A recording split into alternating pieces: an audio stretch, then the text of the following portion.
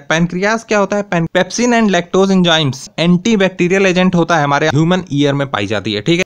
Glycogen क्या होता है? ओ निगेटिव यूनिवर्सल डोनर होता है। पावर हाउस किसको बोलते हैं हमारी ह्यूमन बॉडी का? तो बाइल का यूज़ किस लिए होता है? एमल्सिफिकेशन के लिए कौन प्रोड्यूस करता है? इसमें से कौन सा फीमेल सेक्स हार्मोन है? या तो फिर किसी दूसरे टिश्यू पर डायरेक्ट इफ़ेक्ट करता है।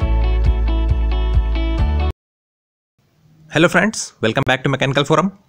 इस वीडियो में हम लोग जनरल साइंस के कुछ क्वेश्चंस की बात करेंगे जो कि काफ़ी इंपॉर्टेंट है एस जेई के अपकमिंग एग्ज़ाम के लिए क्योंकि लास्ट ईयर भी काफ़ी क्वेश्चंस पूछे गए थे जनरल साइंस से और आप लोग के भी काफ़ी सजेशंस आए थे कि जनरल साइंस पे वीडियो बनाएँ। तो ये पार्ट वन है और भी पार्ट्स आते रहेंगे इससे। तो आइए शुरू करते हैं पार्ट वन को। Before watching this video, please subscribe Mechanical Forum and press the bell icon to never miss any update.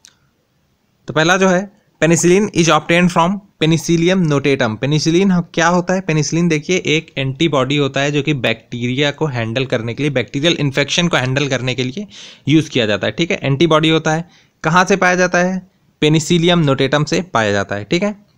Smallest bone क्या होती है? उसका नाम होता है स्टेपीस वो कहाँ पाई जाती है हमारी बॉडी में? वो कान में पाई जाती है, ह्यूमन ईयर में पाई जाती है, ठीक है? Next one pancreas is both an endocrine and an exocrine gland, ठीक है? देखिए, दो टाइप की ग्लैंड होती हैं। एंडोक्राइन ग्लैंड होगी या तो एक्सोक्राइन ग्लैंड होगी। एंडोक्राइन ग्लैंड वो होती है जो कि, जो केमिकल सब्सटेंस जो प्रोड्यूस कर प्रोड्यूस करती है ग्लैंड वो डायरेक्टली हमारे जो ब्लड होता है बॉडी में, उसमें या तो डायरेक्ट वो पुट कर देगी, उसको डाल देगी केमिकल सब्सटेंस को, या तो फिर किसी दूसरे टिश्यू पर डायरेक्ट इफ़ेक्ट करता है, ठीक है? जो भी केमिकल सब्सटेंस प्रोड्यूस करती है। एक्सो क्राइन क्या होता है कि हमारे बॉडी से या तो डायरेक्ट डक्ट के थ्रू बाहर निकाल देगी ग्लैंड या तो फिर किसी दूसरे ग्लैंड को ट्रांसफ़र कर देगी। ठीक है? तो वो एक्सोक्राइन ग्लैंड हो गया। पैनक्रियास क्या होता है? पैनक्रियास का देखें दो मेन जो काम होता है, वो मैं आपको बताता हूँ। एक तो ब्लड ब्लड शुगर को रेगुलेट करता है पेनक्रियास दूसरा हमारा डाइजेशन में काम करता है। ठीक है? पेनक्रियास का ये दो मेन काम होता है। ब्लड शुगर को रेगुलेट करना और डाइजेशन में काम करना। और ये दोनों टाइप के ग्लैंड्स होते हैं। पेनक्रियास जो होता है एंड्रोक्राइन ग्लैंड और एक्जोक्राइन एक्जोक्राइन ग्लैंड दोनों टाइप के ग्लैंड इसको बोला जाता है। ठीक है? Next one simple plants that contains no chlorophyll कौन सा प्लांट है इसमें क्लोरोफिल नहीं पाया जाता है? तो वो होता है फंगी फंगी में कोई क्लोरोफिल नहीं पाया जाता है, ठीक है? नेक्स्ट वन बाइल कहाँ प्रोड्यूस होता है हमारी बॉडी में? तो बाइल जो होता है वो लीवर में प्रोड्यूस होता है, ठीक है? क्यों प्रोड्यूस होता है? क्योंकि इमल्सिफिकेशन के लिए. इमल्सिफिकेशन का मतलब ये होता है कि जैसे कुछ हम लोग जो भी खाना खाते हैं, जो फैट हमारी बॉडी में जाता है, उसको थोड़े, छोटे छोटे पार्ट्स में तोड़ देना। दैट इज़ इमल्सिफिकेशन वो कैसे होता है? वो लीवर जब बाइल प्रोड्यूस करता है तो उससे इमल्सिफिकेशन होता है। फिर क्या होता है? जो भी जैसे पेनक्रियास कुछ केमिकल सब्सटेंस प्रोड्यूस कर रहा है तो वो जाएगा और सरफेस एरिया बढ़ जाता है उस पर्टिकुलर फैट का, जो पर्टिकुलर खाना हम लोग खाते हैं तो ज़्यादा इफ़ेक्ट करता है वो, जो भी प्रोड्यूस करता है पेनक्रियाज या तो कोई भी ग्लैंड जो भी प्रोड्यूस करेगा डाइजेशन सिस्टम में।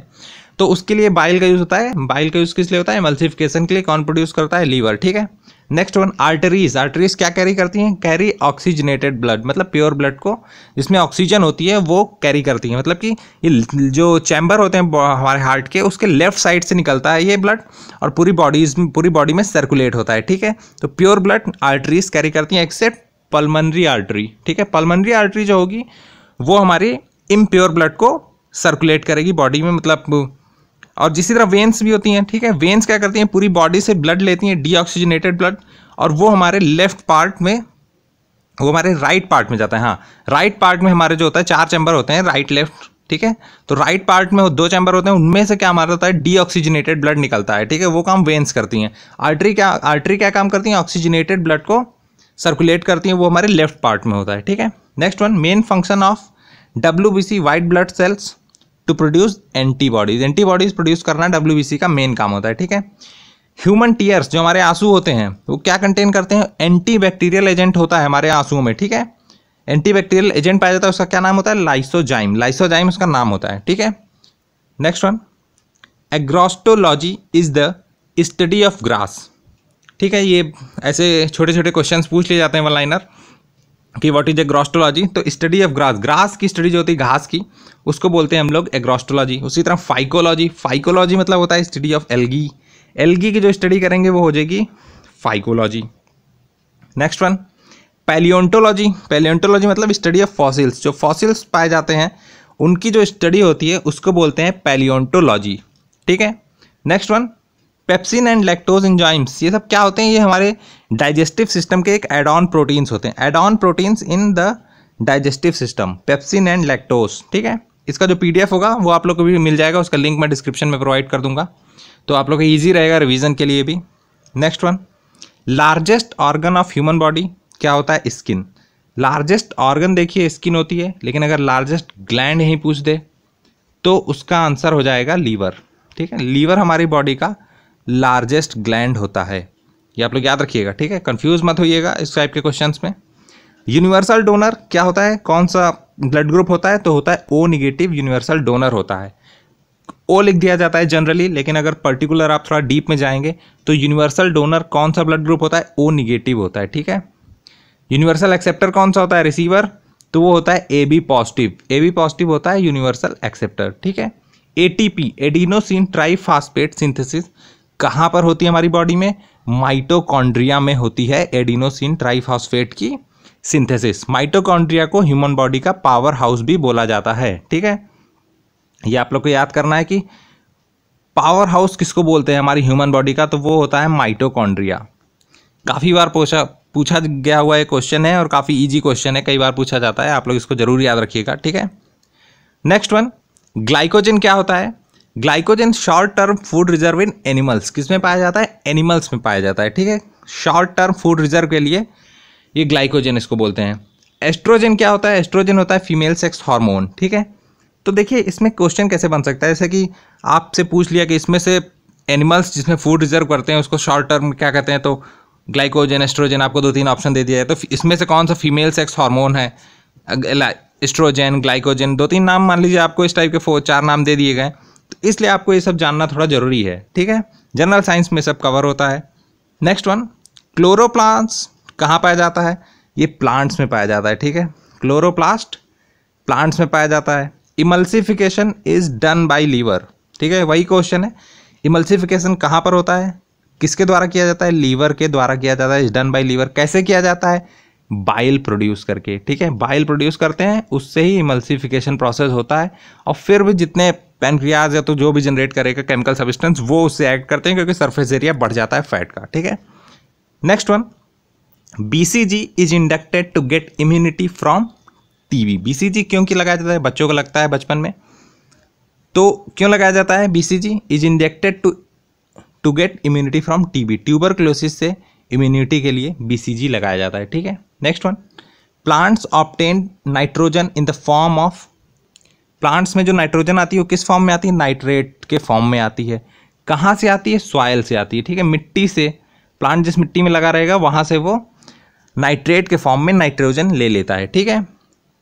नेक्स्ट मिल्क शुगर को क्या बोलते हैं? लैक्टोज जो शुगर मिल्क में जो शुगर पाया जाता है, वो लैक्टोज होता है। फ्रूट में जो शुगर पाया जाता है वो फ्रक्टोज होता है। टेबल शुगर यानी कि घर में जो यूज़ किया जाता है वो सुक्रोज होता है, ठीक है? केन शुगर भी इसको बोला जाता है, ठीक है? Next one father of blood circulation कौन थे? William Harvey is the father of blood circulation मैंने बहुत ही मिसलेनियस क्वेश्चन रखे हैं, किसी पर्टिकुलर टॉपिक से नहीं रखा है। जो जो मुझे थोड़ा इंपॉर्टेंट लगता गया अभी स्टार्टिंग में तो वो मैंने यहाँ पे रखा है। और भी पार्ट्स इसके आते रहेंगे आप लोग के लिए। आप लोग ज़्यादा परेशान मत होइएगा। स्मॉलेस्ट ग्लैंड क्या होती है? ह्यूमन बॉडी की, वो होती है पिट्यूटरी ग्लैंड अगर largest gland liver smallest gland pituitary gland और largest skin largest tissue largest organ sorry largest organ क्या होता है? वो होता है स्किन ठीक है? ये देखिए कंफ्यूज मत होइएगा, मैं भी कंफ्यूज हो जा रहा हूँ। ब्लड प्रेशर कंट्रोल कौन सी ग्लैंड है जो ब्लड प्रेशर कंट्रोल करता है? तो होता है एड्रेनल ग्लैंड ब्लड प्रेशर को कंट्रोल करता है, ठीक है? विटामिन, कौन सा विटामिन है जो कि हेल्प करता है फॉर्मेशन ऑफ़ कोलेजन मतलब जैसे चोट वोट लग जाती है तो उसको भरने में, जल्दी से ठीक हो जाए। तो उसमें कौन सा विटामिन हेल्प करता है? तो वो नाम है विटामिन सी ठीक है? नेक्स्ट वन जो हम लोग की मसल पेन कभी कभी स्टार्ट हो जाती है। मान लीजिए हम लोगों ने बहुत ज़्यादा एक्सरसाइज कर ली तो मसल पेन हम लोग की स्टार्ट हो जाती है। तो क्यों स्टार्ट हो जाती है? क्योंकि due to the formation of lactic acid हमारी बॉडी में बनना स्टार्ट हो जाता है जॉइंट्स पे तो उस वजह से मसल पेन हम लोग को स्टार्ट हो जाता है। ठीक है? Right of human heart carries deoxygenated blood वही मैंने बताया था कि ह्यूमन हार्ट में चार चैम्बर होते हैं, ठीक है? तो जो राइट चैम्बर होता है ये, इसमें डीऑक्सीजनेटेड ब्लड ऊपर आता है, ठीक है इम्प्योर नीचे प्योर होकर कैसे निकलता है। इधर जो होता है ये ऑक्सीजनेटेड ब्लड होता है, ठीक है? ये आप लोग याद रखिएगा, इधर ऑक्सीजनेटेड ब्लड इधर डीऑक्सीजनेटेड ब्लड होता है, ठीक है? और ये दो कुछ रिसेप्टर्स होते हैं ह्यूमन बॉडी में जो पाए जाते हैं गस्टेटरी रिफ्लेक्टर्स जो कि टंग में पाया जाता है, जीभ में।